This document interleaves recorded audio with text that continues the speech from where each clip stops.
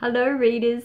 Today's story is a very fun little story about a young girl who dresses up at night as a cat burglar.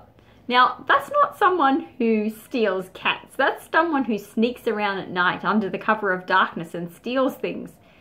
And in the story, it talks about someone called Robin Hood. So you need to know who that is so you understand that part of the story. And Robin Hood was a character from an old English story that used to steal things from rich people and give them to poor people. So you'll understand why that character needs to be known.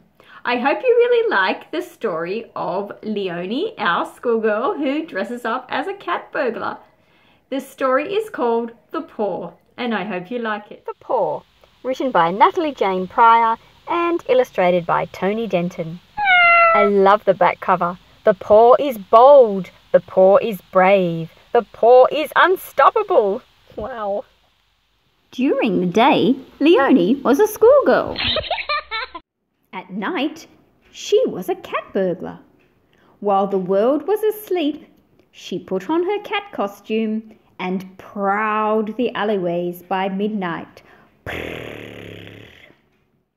Nothing was safe when Leonie was about. The police were baffled and said so. Newspapers printed stories about her. They called her the Paw. And if you look closely, it's like the newspaper article has been written by the author of this book. And also, the title of the newspaper is the Daily Muse, which is very cute. Mew is kind of like meow. Leonie was unstoppable.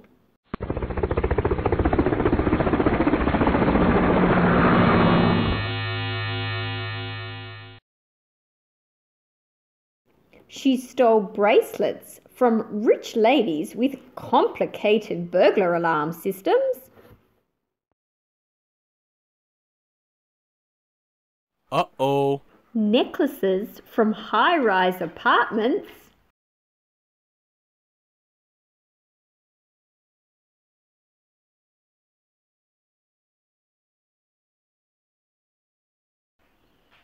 Famous paintings from private art galleries.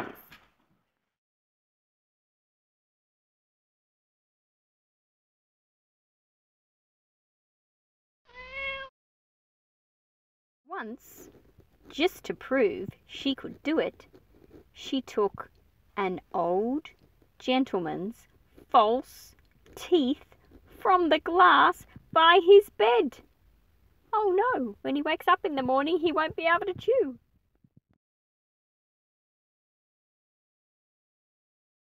Leonie studied the career of Robin Hood in detail. Remember, he stole from the rich and gave to the poor. She gave stolen caviar and turkey to starving cats and left $50 notes for orphans when their teeth fell out. A computer in her secret hideout kept records of people who needed her help. One night, while travelling to a burglary on her jet propelled tricycle, Leonie met a policeman. Uh, I've been to a fancy dress party, she said. The policeman did not believe her. When Leonie refused to give her name, he took her to the police station in his patrol car. Later that night, she escaped through a double barreled window.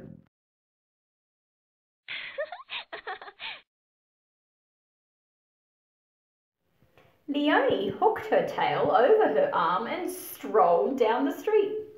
Not far from the police station was a shop that sold opals. Above it was a flat where the owner lived. Leonie had been there before, she remembered some delicious biscuits she had found and decided they were worth another visit. She checked her gloves, strapped her super suction pads to her knees, and climbed up the wall.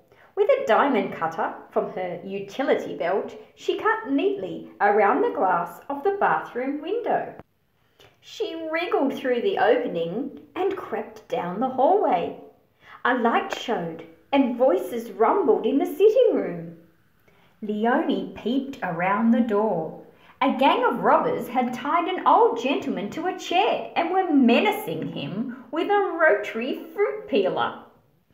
Tell us the combination of your safe, they snarled. Leonie's tail twitched. She reached for her clockwork mouse decoy, wound it up, and sent it running around the robber's feet. Then, with a single bolt from her suction gun, she knocked the fruit peeler right out of the robber's fingers. Open up, please, shouted Leonie. She banged on the door and set off the siren on her automatic digital watch with 16 functions. The burglars panicked. Leonie ran to untie the old gentleman.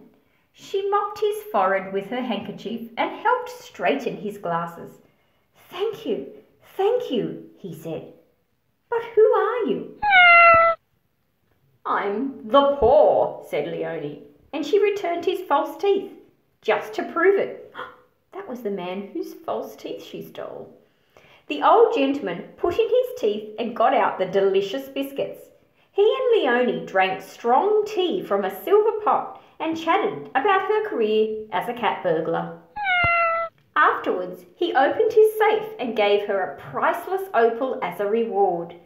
Leonie memorized the combination for next time.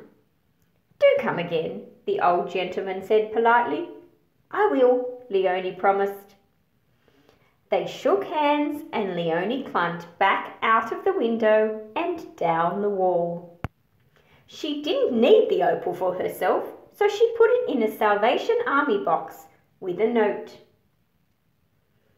The sun was starting to come up and burglars all over the city were finishing work. Leonie hitched a ride home on top of a milk truck. Oh my goodness, we have got a alligator burglar and a cat who seems like he's walking his fish. And we have three, four, five burglars going down the street. This is a crazy city. Back in hideout, she changed from her cat costume into her pajamas and arranged her bed so that it looked as if she'd slept there. Her father was making breakfast in the kitchen what are you doing up so early? he asked as he handed her some toast and milk. Just prowling, said Leonie. And she poured her glass of milk out for the cat.